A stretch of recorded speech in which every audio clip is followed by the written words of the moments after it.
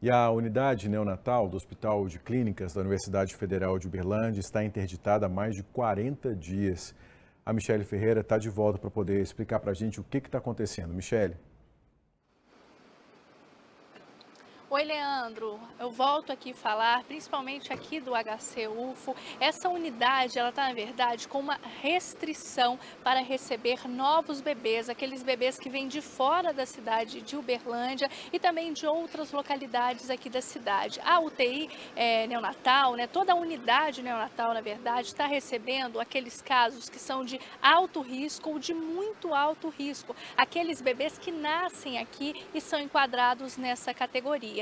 Isso tudo para proteger esses novos bebês que vêm de fora, de outras cidades, né, de contrair essa bactéria, né, que é resistente a antibióticos e pode causar infecções, inclusive infecções graves. Então a gente conversou mais cedo com o médico infectologista aqui do HC, o doutor Henrique, e ele explicou o que é essa bactéria e depois ele dá mais informações sobre o que está acontecendo na unidade neonatal aqui do HC. Vamos ouvir então o doutor Henrique nos últimos anos, é, tem surgido novas formas de resistência. As bactérias têm ficado mais resistentes, não só ela, mas como outras bactérias também, principalmente dentro do hospital. Né? Então, essa KPC, que é uma Klebsiella, que é uma bactéria, ela se tornou resistente a um grupo de antibióticos que a gente chama de carbapenêmicos. Tá? O que, que significa isso? Significa que eu vou ter é, menos opções terapêuticas para tratar esses pacientes, mas a gente ainda tem opções terapêuticas. Né? Ela não é totalmente resistente ou resistente a todos os antibióticos, tá? E aí é o seguinte, é, quando o paciente se interna no hospital, ele tem na pele dele, no intestino dele, uma flora bacteriana dele, que a gente chama de flora da comunidade, flora própria do paciente. E conforme ele vai ficando internado, ele vai mudando essa flora para uma flora hospitalar, porque ele vai entrando em contato com essas bactérias que estão aí no ambiente, né? É, é, é em, em, locais né, em que ele vai encostando ou que os próprios profissionais vão encostando nele essa bactéria vai aparecendo. Né? Então, é normal, é comum os pacientes terem infecções por bactérias hospitalares. Claro, pacientes com determinados fatores de risco,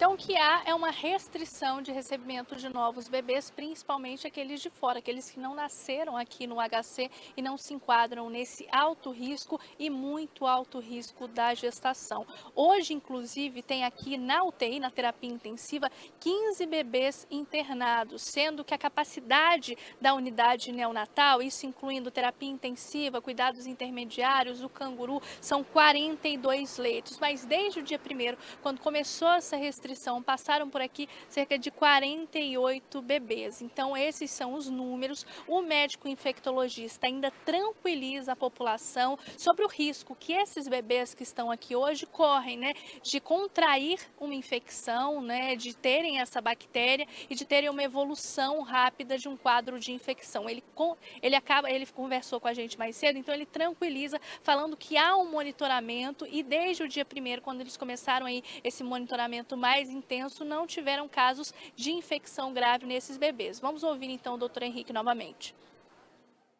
Então, desde o ano passado foi detectado um aumento né, desses casos dessa KPC nessas crianças que estavam na UTI. Só que a gente tem que deixar claro que é, a maioria dos casos, e a maioria mesmo, são de pacientes colonizados, em que a bactéria está presente, é, é uma bactéria que fica no nosso intestino, tá? Ela está presente, mas sem causar mal para aquela criança tá? Então, pode ser que ele se infecte? Pode ser que ele se infecte. Isso não tem como você definir. Por isso que é uma vigilância, é como se fosse um alerta, né? Então, nós identificamos bebês que têm bactérias diferentes das habituais, que podem se infectar por aquela bactéria. O que na prática a gente tem visto é que eles não estão se infectando, então a maioria dos pacientes eles têm essa só a colonização, só a presença para que isso não espalhe para outras crianças, foi né, feito, né, foi necessária essa restrição nas internações. Essa restrição é justamente para que os bebês que venham de fora não entrem em contato com essa bactéria. Mas o hospital ele não deixa de atender aquelas mães de alto risco, muito alto risco, que porventura já estejam internadas aqui. Né? Se for possível que elas é, é, sejam atendidas aqui, elas vão ser atendidas de forma normal e tudo mais.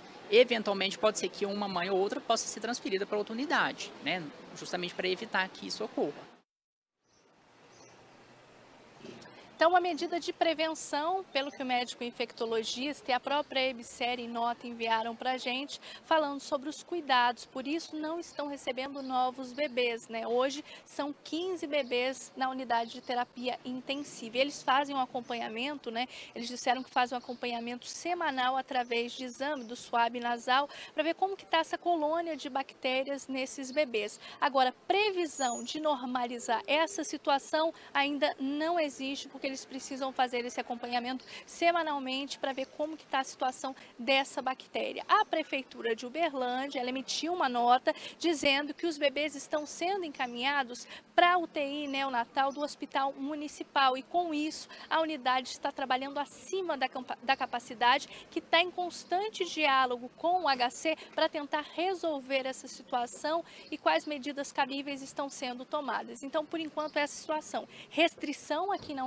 Neonatal do HC, então novos bebês não estão sendo recebidos aqui se não forem nascidos aqui com esse alto grau de complexidade. Volto com você, Leandro. É preciso cautela nesse momento, né, Michele? Medidas de prevenção. Obrigado, viu, pela explicação. Gente, vamos fazer mais uma caminhada.